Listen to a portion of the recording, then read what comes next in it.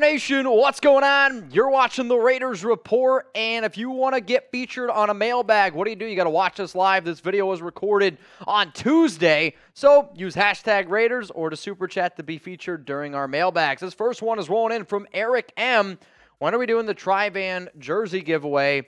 Day one of the NFL draft. So, round one, for those of you that are watching, you got to be tuned in to our coverage, which will start probably like 90 minutes, 100 minutes, I don't even know, right before the NFL draft. We're going to be doing a raffle. So if you want a chance to get your jersey on the Raiders report, shout out to Lucky Irish. You got to enter the raffle. Let's go to Papaya Man 89. Where there is smoke, there's a fire. Raiders trade up to three and draft Bryce Young. Texans take Will Anderson at two. So that means you think Will Levis is going one, Will Anderson at two. If Bryce Young's there at three, then honestly, I think even if Bryce Young's there at two, I think that that's where you see the Raiders potentially try to trade up. Let's go to Jeremy's burner. I say we take a risk with Jalen Carter all D draft. I said this the other day when I was on Graphic Raiders show. For other teams not named the Raiders, you can take a risk with Jalen Carter. I just think when you look at all of the failures that the Silver and Black have had in round one, you probably should try to stay away from the guy that's got all the off the field issues. Is he a great player on the field? Yeah, nobody's ever going to dispute that. But you can't afford to miss. So, because of that, Jalen Carter might not be the player that you should pursue. Let's go to Raider Nation for Life SMB. Would you draft Will Anderson if he's there at seven? As much as I like Christian Gonzalez, as, as much as I like Devon Witherspoon, I like Will Anderson, and I would take Will Anderson at seven. Is it as big of a need? No. Do I think some people are overthinking the fact that he's had a little bit more of a down year this past season? Yeah, he also got double teamed a lot more.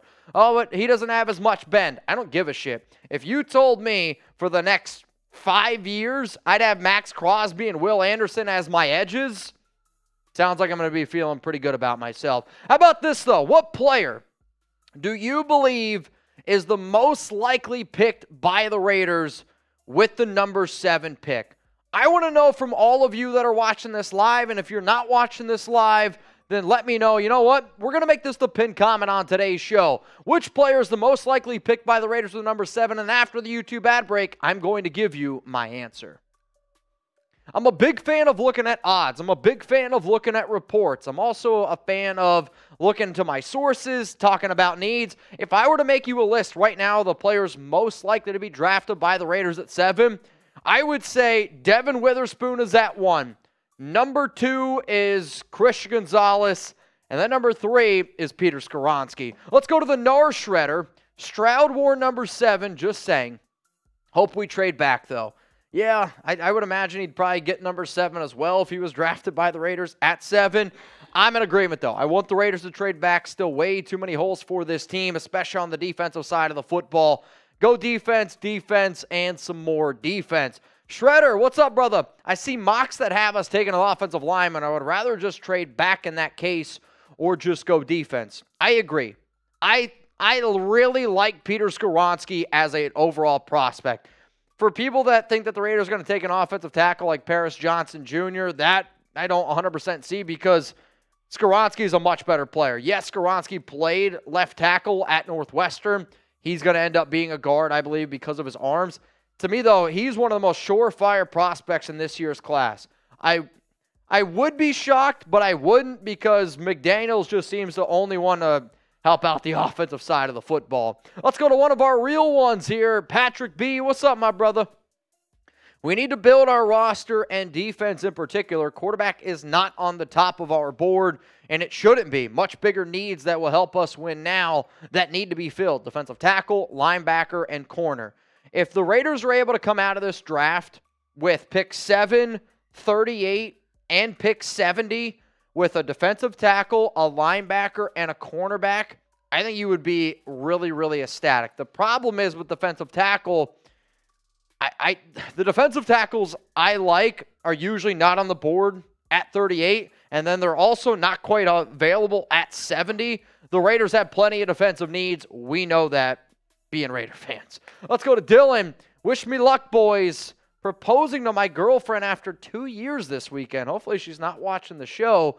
Do we take Stroud if he falls to seven? Do we take Stroud at seven? I do not think so. And I want everyone right now to wish Dylan some some good luck proposing to the girlfriend after two years. I, I guess you're gonna have to give us an update. Hopefully, it's a good update. That's all I can ask for, Dylan. No. I know. Oh, Dylan, good luck to you, my brother. I, I don't know about you. Sometimes I know when people get a little bit worked up, they might have a drink or two to calm it down. Well, if you're going to have a few drinks during the NFL draft, I do think that you should definitely get some ZBiotics. I know Chugs and I are going to be chugging some ZBiotics, no doubt about it. Remember to use promo code CHAT. You're going to get 15% off. And I'll tell you this right now. Anytime I have used ZBiotics in the past when we've done happy hour shows, it's been great. So promo code Chat Sports for 15% off. Let's face it, after y'all hit me with a bunch of super chats, I don't bounce back well the next day. That is until I found ZBiotics. ZBiotics Pre Alcohol Probiotic is the world's first genetically engineered probiotic. It was invented by PhD scientists to tackle rough mornings after drinking. Here's how it works when you drink, alcohol gets converted into a toxic byproduct in the gut. It's this byproduct, not dehydration, that's to blame for your rough next day. ZBiotics produces an enzyme to break this byproduct down.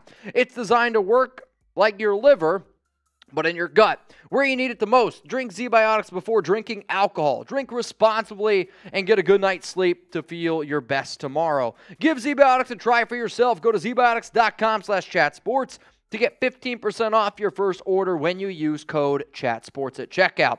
ZBiotics is backed with a 100% money back guarantee, so if you're unsatisfied for any reason, they'll refund your money, no questions asked.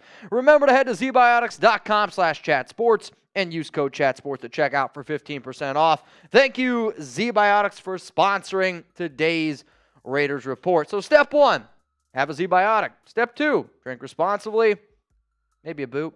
And then number three, enjoy tomorrow. Chugs, I hope you and I, well, I hope y'all are ready to be partying with Chugs and I during the draft. We're going to be doing it responsibly. We're going to be having a good time. We're also going to be using ZBiotics. Let's go to Raider Rob, 1969. Who's your pick Forbes, Banks, Ringo, or Cam Smith. Second tier cornerbacks can't wait until the draft. If I had to pick between these guys, it's Deonte Banks, but that's because to me, he's not quite in that second tier. Deonte Banks is is actually now more in that Joey Porter Jr. range to me, where there's tier one, which is Devon Witherspoon and Chris Gonzalez, and then I would say tier two is Deonte Banks, Joey Porter Jr., and then there's that other tier, which is some of the guys that you're bringing up right now. If you want an overall athlete, you go Kelee Ringo. You want to go with the upside and Forbes because if he can add a few more pounds, he's going to be somebody to look out for. Cam Smith, also a good player. Out of these three names, though, I will go with Emmanuel Forbes. Let's go to Cameron Sproul. Watch some video from the 1970 Raiders. Can't wait to get back on top. Just win, baby. Oh man, the only problem with the '70s defense is you can't play defense like that anymore because the, the amount of flags that would be flying out there. But um, I hope that the Raiders can have a competent defense. I mean, I'm just so sick and tired of watching bad defense, bad play. If I got to go through another year what I went through last year from a offensive collapsing standpoint and the defense just not being able to make stops when it did matter, it's going to be a long year, man. Let's go to Stoke for Life Foundation. Showing love to the uh, Raiders report. Much love to you, Stoke. Let's go to B Rabe. Raiders trade back. Draft Witherspoon at 16. Will not be there. Kancey at 33. Will not be there. Washington. I think Darnell Washington at 38. Gibbs at 47. B Ray, I'm gonna be honest with you, man. I'm not I'm not really sure where this is. So no, so what he ended up doing here is he he did a trade back 33, you're right, is Texans. 47 and 16 is Commanders. B Rabe, I, I don't know where you got this from, but uh, if you're doing a mock draft, I would say use somebody else because this is, I don't know. I, I, I don't know what to tell you, B Ray. Appreciate the comment, though. Todd, can't miss another first rounder if the quarterback ain't Bryce Young. Pass. I don't disagree with you. I, I do not disagree. Like, you would literally have to have Bryce Young almost fall into your lap for me to do it. If not, trade back or just take defense. The Raiders need some defense for the love of God. Eric, Kancey, Hooker, or Mazi in the second. What do the Raiders do? Calijah Kancey will not be there available in the second round. I just I don't see a world where he is there in round two. Now, maybe if Jalen Carter just slides down the board, it forces all the defensive tackles to go down. But if it's between the DTs, I'll take Kancey over Mazi. And then with Hendon Hooker, he if honestly, I'd rather take Mazi Smith over Hendon Hooker at 38. So Kancey, the clear guy, but uh, he's he's going to go in round one. What's up, Derek? If the Raiders trade back in round one, who do you think it will be with, and what will the Raiders get? In terms of what will they get, uh, it really just depends who's available and who's on the board. I would say the team's most likely to trade back with the Raiders. Titans at 11. I'll say the Patriots at 14, Commanders at 16, and then the Tampa Bay Buccaneers. Those would be the top teams to potentially trade back. If the Raiders do make a trade, well, hopefully you're watching the show with Jeremy Chugs and I. We're going to be live for every pick of the 2023 NFL Draft. We will get the picks before you see them on television. We got tons of giveaways. Hopefully you got your drinking pants on. Shout out to ZBiotics. It's going to be one hell of a show. Make sure you subscribe and got those noties turned on. Let's go to Stoke. I think this time he got it right. Is, I thought this said catfish. Is Callahan, Calijah Kancey too much of a reach at seven? Character and tape speak volumes about this kid. I love Calijah Kancey. And what's funny is you can go back three months ago and I was talking about this defensive tackle from Pitt and how loved him, would love for the Raiders to get him. I did a mock draft where I got him at pick 70. Obviously, that's not going to happen anymore. And as much as I love Kancey, pick seven's a reach. Pick seven, I will not do. If you can trade back and you can get him in the middle of round one, but you're also able to stockpile, then I'm a little bit more okay with that. But that's uh, that's a little bit too rich for me, and that's me knowing the Raiders need a defensive tackle and really loving Calijah Kancey. Let's go to Hail to the Raider. Is Jalen Carter an option for the Raiders at seven? Is he an option? Yes. Will the Raiders take him? I have absolutely no idea. I don't know how the draft board's going to fall, but from my understanding and the people that I talk to, there is not a single player that the Raiders have crossed off their board. So if I know people are going to be like, oh, Vic Tafur was right. The Raiders didn't take Carter at seven if he's there.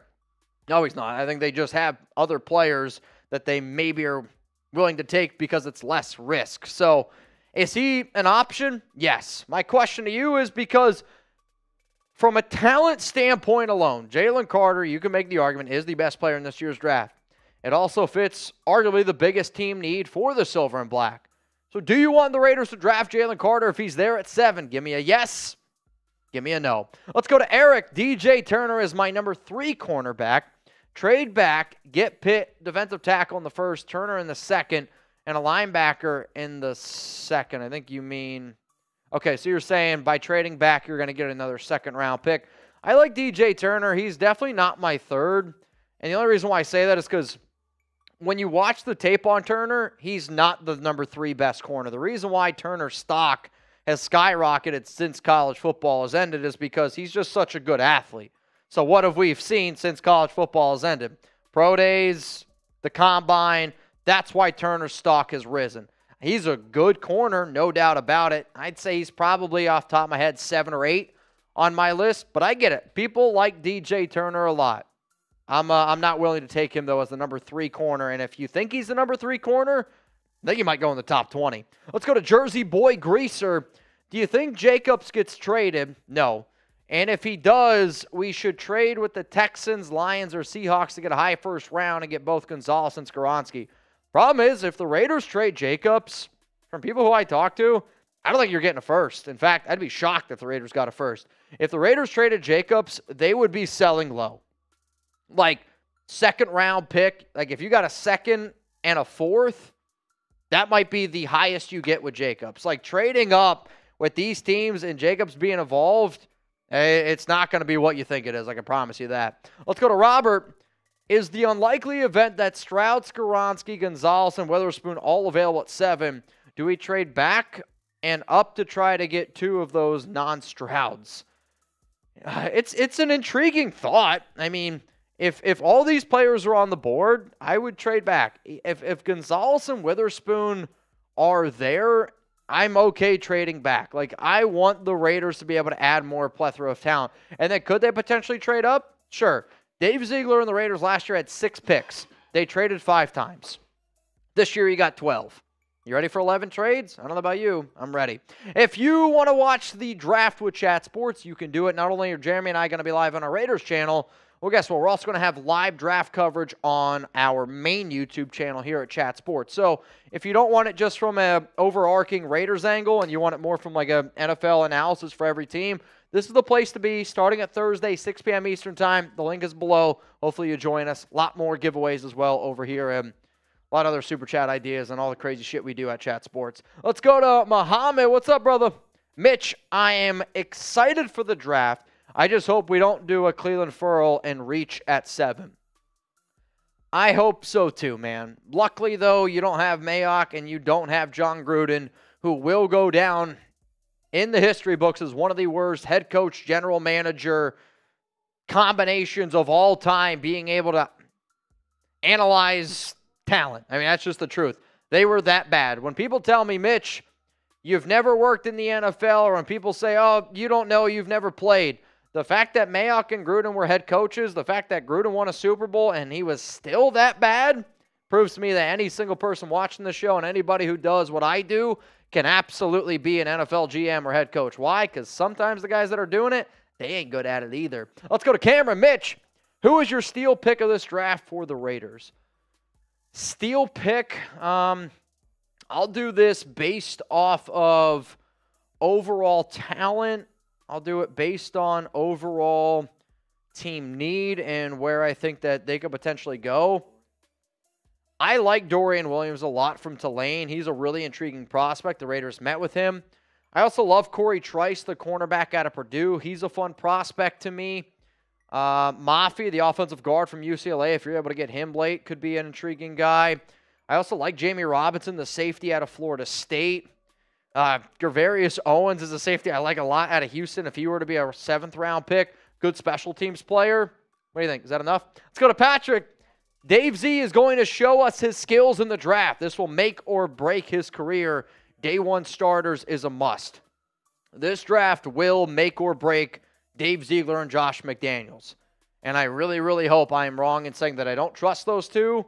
And I'm really hope that the Raiders can win some games because that's all I care about. The Raiders winning some freaking games. Now, if you don't already know, you can always follow me on Twitter. If I didn't get to your question, you can hit me up on IG. I'm at Mitchell Renz 365. So appreciate everyone who's tuning in. Friendly reminder again, we will be live for the NFL draft starting early on Thursday. So make sure you're tuning in and watching all of our draft coverage.